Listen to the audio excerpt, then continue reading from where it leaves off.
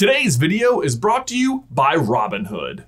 Oodalali. Hey brother! Ben, what in the name of Merlin's pants is the deal with Dumbledore and Nicolas Flamel? Because if you just sort of gloss over it, I feel like you can get to the end of the first book, sort of assuming that the two were just old chums who worked on and created the Philosopher's Stone together. After all, on his chocolate frog card, one of the things Dumbledore is specifically known for is his work in alchemy with his partner, Nicolas Flamel. And the thing Nicolas Flamel is famous for is making the Philosopher's Stone. In fact, I think you could argue the entire point of alchemy was to ever create the stone. Here's the definition. The medieval forerunner of chemistry, based on the supposed transformation of matter, it was concerned particularly with attempts to convert base metals into gold or to find a universal elixir. In other words, exactly what we know the stone to be able to do. The problem is that, of course, by the end of the first book, we learn that Nicolas Flamel is already well over 600 years old, meaning he would have created the stone centuries before he ever even met Albus Dumbledore. You don't look a day over 375. And since the stone itself is sort of the end-all be-all goal of alchemy,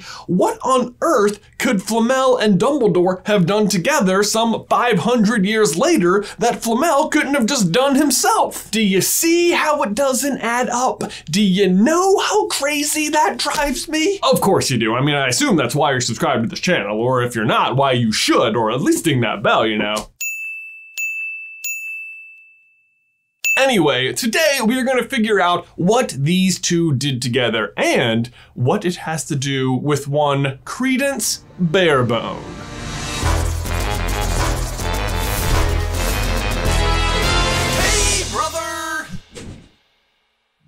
Guys, 2020 is the perfect time to be thinking about 2040 because let's face it, not all of us have our very own Philosopher's Stone to turn all of our regular boring metals into gold. But with Robinhood, you can invest in the markets and earn interest with a competitive APY on uninvested cash. They make it easy to get started and learn as you grow with an intuitive app experience and no commission fees on trades. And stock prices do not have to hold you back. You can buy a piece of a company you love for as low as $1 and slowly build your portfolio over time. You can buy one share, half a share, nine and three quarters shares. It's really up to you and your budget and your goals. Plus, your first stock is on the house when you set up your account. So head over to scbros.robinhood.com to claim your first free stock today. Again, that is scbros.robinhood.com. Set up your account today and get a free stock. Annual percentage yield APY on invested cash is paid by program banks and is variable. Robinhood Financial is not a bank. The free stock offer is subject to terms and conditions. All investments involve risk. Other fees may apply. Visit rbnhd.co slash fees. Boring legal stuff. Here's the curious thing about the Philosopher's Stone. The two powers it's always described as having in Harry Potter are that it can turn other metals into gold and that it can produce the elixir of life. Both of which seem pretty straightforward. One makes you rich and the other lets you live forever, which feels like a pretty ideal situation. And honestly, I don't think Flamel is using the stone correctly because we can just see his house in Crimes of Grindelwald and it is like in shambles for someone who can create gold at will. And honestly, he doesn't exactly seem like the picture of health. He is like alive, but mostly what I could say about him is that he's not dead. He just seems so brittle. Hey, Mr. Flamel. Oh, I'm sorry. Either way, despite those being the only two known powers of the stone, Dumbledore goes out of his way in the first Harry Potter book to make sure that Voldemort does not get the stone because he thinks he'll be able to use it to restore himself a body. But my question is, why is he concerned about that? Because that's not really a known power of the stone right? I mean, certainly you don't want Voldemort to have it no matter what, because it would be an excellent tool in terms of gathering resources and guaranteeing that he doesn't die. But to that end, Voldemort already can't die. And even if Dumbledore hasn't quite figured out how he's pulling it off yet, the fact that he's existed as like spirit vapor for the last 11 years must be suggesting to him that in some way Voldemort has found a way to tether himself to life. So yeah, why is Dumbledore so concerned this is gonna restore him to like full power? I mean, he knows Flamel, he knows he's mostly just not dead. I'm alive. But I'm an alchemist and therefore immortal. Unless, perhaps, Dumbledore has seen this kind of magic from the stone before. Personally, I totally think he has, and I think the answer to this mystery and many other mysteries lie with this specific power of the stone. But in order to explore them, we need to first travel back to Dumbledore's youth. We know from Elphias Doge's In Memoriam about Dumbledore that almost the moment he arrived at Star Star, Star Wars. The moment he arrived at Hogwarts, he was a star pupil that not only did he win every prize of note that the school offered, he was soon in regular correspondence with the most notable magical names of the day, including Nicolas Flamel, the celebrated alchemist, Bathilda Bagshot, the noted historian, and Adalbert Waffling, the magical theoretician. Which is important because it is proof that Dumbledore was in contact with Flamel before he graduated Hogwarts, which matters because of what happens to him almost as soon as he graduates Hogwarts, which is the death of his mother Kendra. Kendra's death grounded Dumbledore's immediate ambitions upon graduating of traveling the globe with his friend Elphias. And more importantly, tied him to Godric's Hollow for that summer to care for his younger siblings, Aberforth and Ariana. His sister, Ariana, I'm sure you will recall, was largely kept at home. She didn't attend school and has all but been confirmed to have developed an obscurus after being attacked by several muggle boys as a little girl. We have a full video explaining this. If you want to check that out, you can do so by clicking the card. But the important passage is this. It destroyed her what they did. She was never right again. She wouldn't use magic, but she couldn't get rid of it. It turned inward and drove her mad. It exploded out of her when she couldn't control it, and at times she was strange and dangerous. But mostly, she was sweet and scared and harmless. And in case you need a refresher, magic that turns inward and explodes out of you in an uncontrollable way is pretty much the definition of an obscurus. But back to Albus Dumbledore. The other reason that summer in particular was so important is because it was during those two months that he met and developed a very close friendship with one Gellert Grindelwald, who he shared almost everything with. You and Grindelwald were his closest brothers. Oh, we were closer than brothers. Sure, I said his name wrong. Gillette, whatever. Gellert? Gellert. Gellert! You Gellert? you Gellert Grindel... Wild? Grindelwald? Sadly, those two months ended with Albus, Aberforth, and Grindelwald having a three-way duel which resulted in the death of Ariana. Which brings us back to Albus's pre-existing relationship with Nicolas Flamel and the fact that Ariana had an Obscurus. Now, we see in Fantastic Beasts that it is possible to keep an Obscurus outside of a human host. Newt has one in that little bubble thing. And we also know that Dumbledore was absolutely distraught after the death of his sister, never really knowing if he himself had done it. So our theory is that perhaps without even realizing really what it was after Ariana's death, that Dumbledore reached out to Nicolas Flamel to see if they could use the stone on what was actually her Obscurus to try and heal her or just see what they could make happen. So together they used the stone on the Obscurus, the little floating black cloud, to try and restore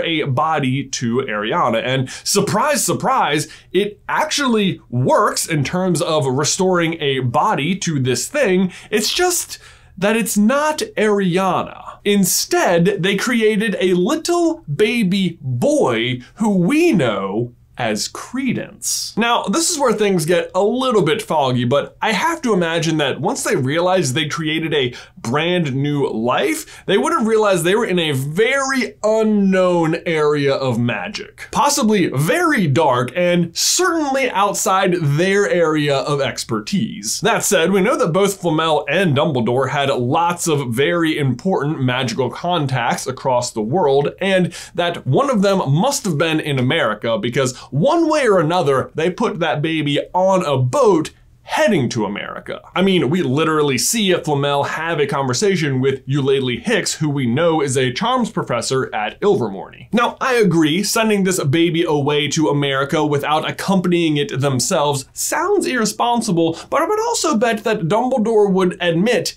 he was pretty irresponsible. Or, as ever with Dumbledore, he would think that he was indeed acting in the baby's best interest by not accompanying it. That somehow by keeping his distance from it and not drawing attention to this new little baby, he was giving it a better chance of survival. I thought by distancing myself from you, you might be more protected. Certainly, at least I can see how a very famous wizard showing up in America with an unexplained baby he created with unexplained magic shortly after the death of two of his family members would look maybe a little bit sketchy. Whatever his concerns or reasons for not accompanying the baby, though, seem to have been pretty short lived because the baby is assumed to have died on its way to America. Or at least that's what everyone thinks, no one realizing that Leta Lestrange actually switched the baby with her brother. Fast forward 20 years or so though, and the baby has grown up to become Credence, a boy full of mysteries. Where did he come from? How was he able to survive with an Obscurus for so long when no other child ever has? Why did a phoenix appear to him as if he was a Dumbledore? And how on freaking earth does Grindelwald know what his name is? Aurelius Dumbledore.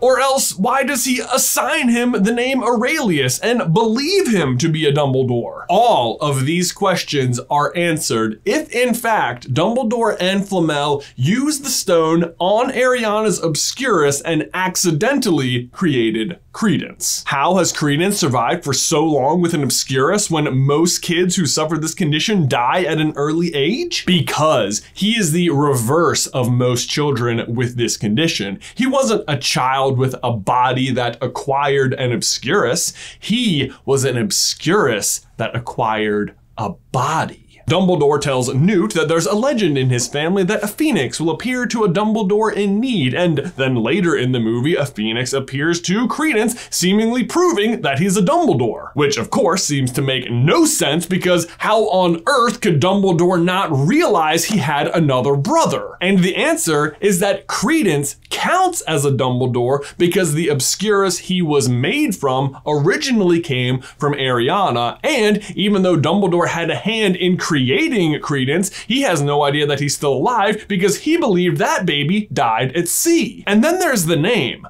Aurelius. Like, why Aurelius of all things? Well, and some of you may already know this, but the name Ariana means silver, and the name Aurelius means gold. And what was the other power of the Philosopher's Stone? Ah, yes, to turn any other metal into gold.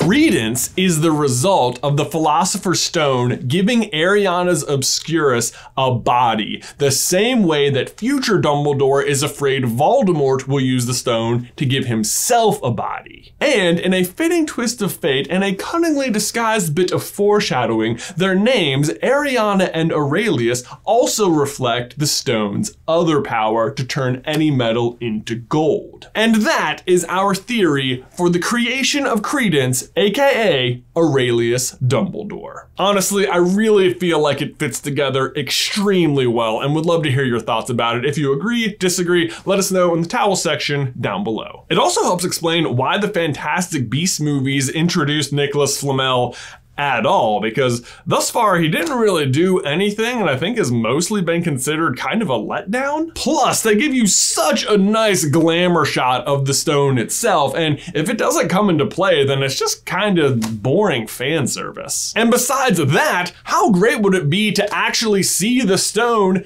in action. I mean, the entire first Harry Potter book is all about it, and you learn all about its powers only to eventually see it do absolutely nothing. Guys, we are brewing up some seriously cool things for Carlin Brothers Coffee in 2020. If you want to make sure you're up to date on all of that, head over to carlinbrotherscoffee.com right now, pick yourself up a bag of coffee, and sign up for that email list. Link is in the description down below. Guys, thanks so much as always for watching. Please remember to like the video if you haven't already and subscribe so you don't miss any future Harry Potter action from us. If you want to see how Ariana had an Obscurus, you can check out this video right here. Or if you want to see how Harry himself is actually the Philosopher's Stone, you can check out this video right here. But Ben, that's all I've got for you today, man. I will see you in another life, brother.